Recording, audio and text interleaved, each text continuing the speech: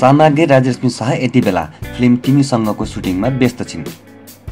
पोखरा वरपर भइरहेको सुटिङमा अभिनेत्री साम्राज्ञीलाई अभिनेता आकाश श्रेष्ठ र नादिर हुसेनले साथ दिइरहेका छन्।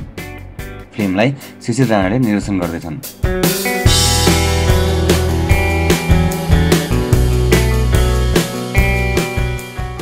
राजधानीबाट सुरु भएको फिल्मको सुटिङ घान्द्रुक पुनहिल वरपर पनि छायाङ्कन गरिएको छ।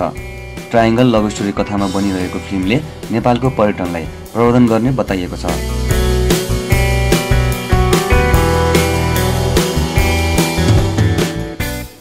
नवन प्रदर्शनको ब्यानरमा निर्माण भइरहेको यो फिल्मलाई सुशील छेत्री र प्रमोद कार्कीले खिचिरहेका छन्।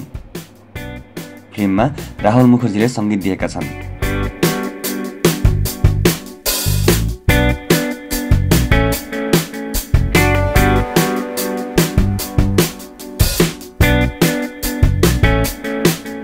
यी तस्विरहरू हामीले निर्देशक शिशिर राणा नायिका सम्राज्ञी लक्ष्मी शाह नायक आकाश श्रेष्ठ र नाजिर हुसेनको फेसबुकबाट साभार गरेका हौँ।